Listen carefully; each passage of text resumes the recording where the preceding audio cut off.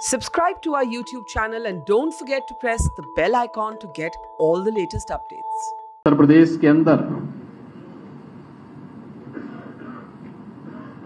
लोकसभा की दो उपचुनाव में आज जो परिणाम सामने आए हैं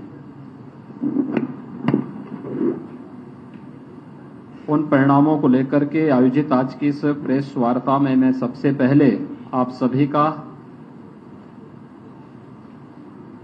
हृदय से स्वागत करता हूँ।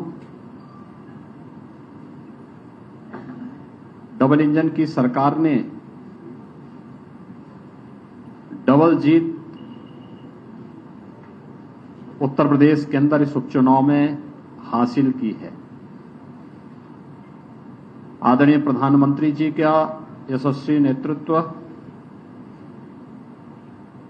भारतीय जनता पार्टी के केंद्र और प्रदेश नेतृत्व जीत में बदल करके चुनाव में दो तिहाई वोट से, दो तिहाई से अधिक सीटें भारतीय जनता पार्टी के पक्ष में देने के बाद विधान परिषद के चुनाव हुए। विधान परिषद के चुनाव में भारतीय जनता पार्टी प्रचंड बहुमत के साथ सभी सीटों पर विजयी हुई। विधान परिषद चुनाव के बाद दो सीटों पर लोकसभा के उपचुनाव हुए हैं और इन दोनों सीटों पर भारतीय जनता पार्टी ने आजमगढ़ में से दिनेश लाल यादव निरोवा जो भोजपुरी के एक लोकप्रिय कलाकार हैं, उन्होंने वहाँ विजयी प्राप्त की है और साथ ही साथ भारतीय जनता पार्टी के रामपुर लोकसभा उपचुनाव में प्रत्याशी श्री घनश्याम सिंह लोधी ने रामपुर की सीट पर विजयश्री प्राप्त की है। ये दोनों चुनाव के परिणाम भारतीय जनता पार्टी, प्रधानमंत्री मोदी जी के और भारतीय जनता पार्टी के सबका साथ, सबका विश्वास, सबका प्रयास और सबका विकास, इन सभी को लेकर के चलने की जो भारतीय जनता पार्टी की घोषित नीति रही है, कि हमने सबका साथ भी लिया, सबका विकास भी किया, सबका साथ और सबके विकास के माध्यम से सबके विश्वास को अर्जित भी किया। ये जनादेश उस विश्वास का प्रतीक है और सबके प्रयास से उत्तर प्रदेश जैसे राज्य को देश के समृद्धतम राज्यों में स्थापित करेंगे। यह जो संकल्प और जो विजन प्रधानमंत्री मोदी जी का है, उस पर जनता जनार्दन की ये मोहर है। आज के इस चुनाव ने एक बार फिर से प्रदेश के दम्भी नकारात्मक सोच और अपनी विध्वंसात्मक गतिविधियों के लिए कुख्यात ताकतों को उन परिवारवादी ताकतों को एक बार फिर से स्पष्ट संदेश जनता जनार्दन ने दिया है कि उत्तर प्रदेश की जनता अब परिवारवादियों जातिवादियों, सांप्रदायिक उन्माद को भड़काने वाले पेशेवर माफिया और आपराधिक प्रवृत्ति के तत्वों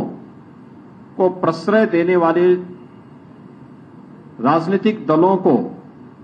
किसी भी प्रकार से स्वीकार करने को तैयार नहीं है।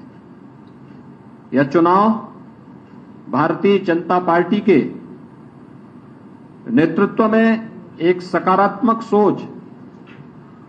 सर्वसमावेशी, विकासोन्मुख, तथा गरीब कल्याणकारी योजनाओं को आगे बढ़ाने के अभियान का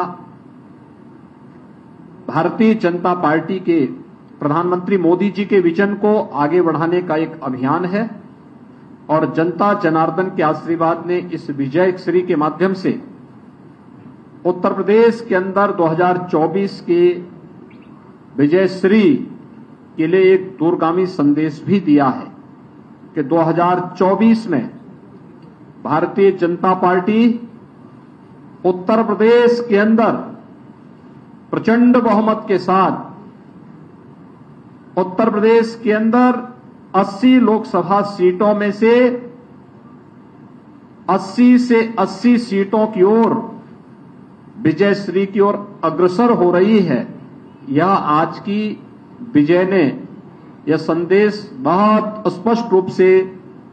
सभी के सामने प्रस्तुत किया है। मैं आज की इस विजय के लिए अपने दोनों प्रत्याशियों को श्री दिनेश लाल यादव, निरोवा को, और श्री घनश्याम सिंह लोधी। दोनों प्रत्याशियों की विजयश्री के लिए उन्हें हृदय से बधाई देता हूँ। मैं भारतीय जनता पार्टी के उन सभी कार्यकर्ताओं को, जिन कार्यकर्ताओं ने अथक परिश्रम करके इस भीषण गर्मी में परिश्रम करके इस चुनौतीपूर्ण लड़ाई को विजयश्री में बदलने में अपना योगदान दिया। बूथ प्रबंधन के माध्यम से लोकतांत्रिक लड़ाई को कठिन से कठिन चुनौती को भी अपने पक्ष में करने के जिस संकल्प के साथ वे पहले दिन से डट गए थे, उस के लिए मैं भारतीय जनता पार्टी के सभी कार्यकर्ताओं को, सभी मंत्रियों को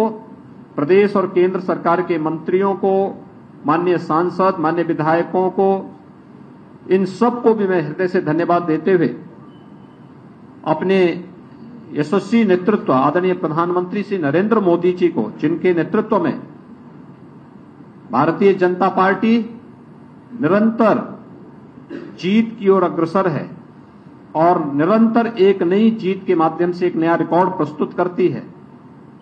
आदरणीय प्रधानमंत्री जी का यशस्वी नेतृत्व और उनके विजन के आधार पर हम लोग निरंतर अग्रसर हैं, आगे बढ़ रहे हैं। आज की विजयश्री उसी विजन का परिणाम है, जो आदरणीय प्रधानमंत्री जी ने भारतीय जनता पार्टी के एक एक कार्यकर्ता को दिया है। मैं एक बार फिर से इस पूरी जीत के लिए आजमगढ़ और रामपुर की जनता का भी हृदय से आभार व्यक्त करता हूँ कि उन्होंने भारतीय जनता पार्टी पर विश्वास व्यक्त किया और अपना आशीर्वाद जिस विश्वास के साथ भारतीय जनता पार्टी के प्रत्याशियों को दिया है, मैं उन्हें इस बात के लिए आश्वस्त करता हूँ कि भारतीय जनता पार्टी के हमारे जीते हुए जो प्रत्याशी हैं, यह